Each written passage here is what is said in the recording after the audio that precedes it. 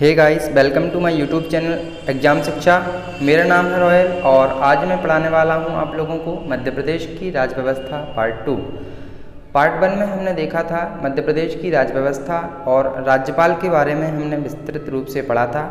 आज हम राज्यपाल को आगे कंटिन्यू करेंगे। स्टार्ट करते हैं। आज हम पढ़ने वाले हैं राज्यपाल की शक्तियाँ और कार्य के बारे में। तो सबसे पहले हमें देखना है कि जिस प्रकार देश के संवैधानिक प्रमुख के रूप में राष्ट्रपति की भूमिका होती है, उसी प्रकार प्रदेश में संवैधानिक प्रमुख के रूप में राज्यपाल की भूमिका होती है। जैसा कि यहाँ लिखा है, राज्यपाल के पास कुछ ऐसी शक्तियाँ और उसके कुछ ऐसे कार्य हैं जो राज्यपाल के पास नहीं होते। जो राष्ट्रपति के पास कुछ ऐसी, हम कह सकते हैं पर्टिकुलर ऐसी शक्तियाँ उसके पास हैं जिनका उपयोग केवल और केवल वही कर सकता है, राज्यपाल के पास वो शक्तियाँ नहीं होती हैं। वैसे हम बात करें राष्ट्रपति जिस प्रकार देश का संवैधानिक प्रमुख होता है, उसी प्रकार राज्यपाल प्रदेश का संवैधानिक प्रमुख होता है। अब हम बात करेंगे ऐसी शक्तियाँ या कार्य के बारे में, जो केवल और केवल राष्ट्रपति के अधीन होती हैं। जैसे देश या प्रदेश में आपातकाल की उद्घोषणा करना। एक केवल और केवल राष्ट्रपति ही कर सकते हैं। आपातकाल संविधान के अनुच्छेद तीन सौ बावन, तीन सौ छप्पन और 360 के अंतर्गत आता है। नेक्स्ट युद्ध और शांति की उद्घोषणा करना। ये राष्ट्रपति की हम शक्तियों के बारे में पढ़ रहे हैं। इसमें है, युद्ध और शांति की उद्घोषणा करना। नेक्स्ट है कूटनीतिक शक्तियाँ। और जो विदेशी राजनयिक होते हैं, उनको मान्यता देना। और अन्य देशों में जो भारतीय दूतावास स्थित होते हैं, वहाँ राजदूतों और राजनयिकों की नियुक्ति करना भी राष्ट्रपति का काम है। किसी भी व्यक्ति को अगर मृत्युदंड की सज़ा दी गई है तो उसकी सज़ा पर पुनर्विचार और उसकी सज़ा को माफ़ करने का अधिकार राष्ट्रपति के पास होता है। राज्यपाल की नियुक्ति भी राष्ट्रपति ही करते हैं। जो हमने शक्तियों के बारे में पढ़ा, ये राष्ट्रपति की शक्तियाँ थीं। अब हम देखेंगे कि भारतीय संविधान के अनुसार राष्ट्रपति को स्वविवेक से कार्य करने का अधिकार नहीं है। राष्ट्रपति अपने विवेक से किसी भी फैसले पर निर्णय नहीं ले सकता है। इसके अगर हम देखें कि राज्यपाल को संविधान ने स्वविवेकी शक्तियाँ दी हुई हैं, वह बिना मंत्रिपरिषद और मुख्यमंत्री की सलाह के कुछ फैसलों पर अपना निर्णय दे सकता है। अगर हम नेक्स्ट देखें, यहाँ लिखा हुआ है कि राज्यपाल को संविधान ने स्वविवेक से कुछ मामलों पर निर्णय करने का अधिकार दिया हुआ है। अब देखेंगे हम मध्य प्रदेश के जो राज्यपाल की शक्तियाँ और कार्य के बारे में।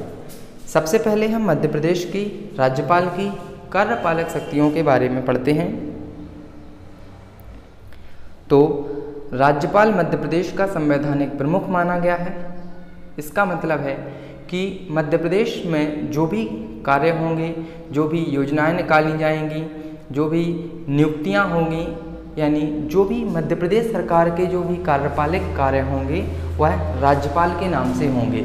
भले ही वास्तविक रूप से मुख्यमंत्री और मंत्रिपरिषद वो कार्य कर रहे हों, लेकिन संवैधानिक रूप से उन पर हस्ताक्षर और राज्यपाल का नाम ही लिखा जाएगा। हम देखें, राज्यपाल राज्य की सरकार के सभी कार्यों, उनके आवंटन प्रक्रियाओं के निर्धारण के संबंध में भी निर्णय लेता है। किसी भी मंत्रियों की नियुक्ति, मुख्यमंत्री की नियुक्ति, महाधिवक्ता की नियुक्ति, न्यायाधीशों की नियुक्ति, ये सब राज्यपाल के द्वारा ही की जाती है। यहाँ लिखा हुआ है, मुख्यमंत्री और अन्य मंत्रियों की नियुक्ति करना। अब राज्य के महाधिवक्ता की नियुक्ति भी राज्यपाल के द्वारा और साथ ही अन्य पदों पर नियुक्ति व उनको हटाने का अधिकार भी राज्यपाल को है। यहाँ हमें एक बात याद रखनी है कि जो मध्य प्रदेश लोक सेवा आयोग, उसके सदस्यों की नियुक्ति तो राज्यपाल कर सकते हैं, लेकिन उनको हटाने का अधिकार केवल और केवल राष्ट्रपति के पास है। अब हम बात करते हैं राज्यपाल की विधायी शक्तियों के बारे में। मध्य प्रदेश विधानसभा का शत्र आहूत करना शत्रावसान करना और विधानसभा का विघटन करना राज्यपाल के अंदर निहित है। राज्यपाल जो विधानसभा को प्रारंभ करवाएगा राज्यपाल विधानसभा के सत्र का ए, अंतिम करवाएगा और जो विधानसभा का जैसे राज्यपाल को ए, कुछ शासन में ऐसी गड़बड़ियाँ पता चलती हैं कि शासन संविधान के अनुरूप नहीं चल रहा है तो राज्यपाल ऐसी स्थिति में विधानसभा को भंग भी कर सकता है। अब राज्यपाल के पास अध्यादेश जारी करने की शक्ति भी होती है। याद रखना है, अध्यादेश से संबंधित आर्टिकल 213 है। इस आर्टिकल को हमें याद रखना है। अब हम देख लेते हैं अध्यादेश क्या होता है।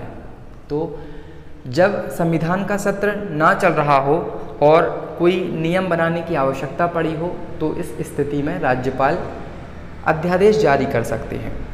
यह अध्यादेश छः महीने तक तो लागू रहेगा।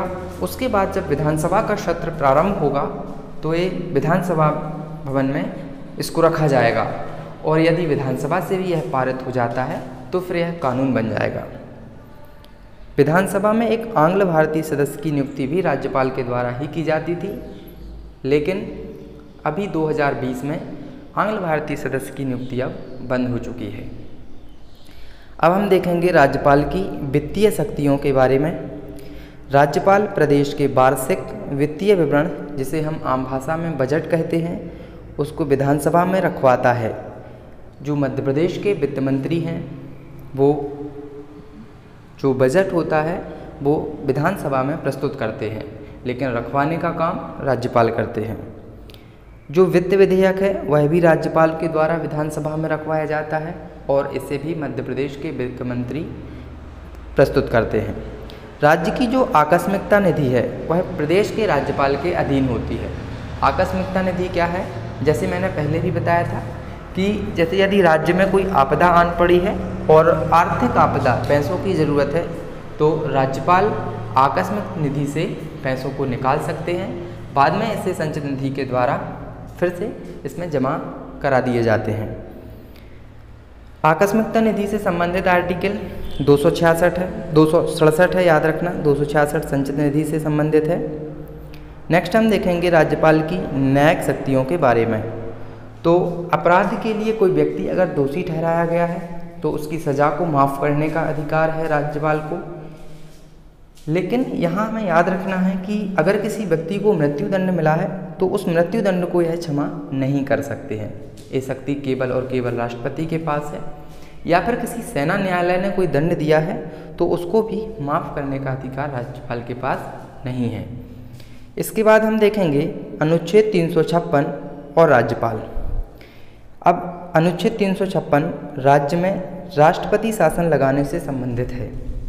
यदि प्रदेश का राज्यपाल राष्ट्रपति को सूचना दे दे या फिर राष्ट्रपति को यह ज्ञात हो जाए कि मध्य प्रदेश में या किसी भी राज्य में संविधान के अनुसार शासन नहीं चल रहा है तो इस स्थिति में राज्य, राज्यपाल की परामर्श से राष्ट्रपति राष्ट्रपति शासन लगा सकते हैं।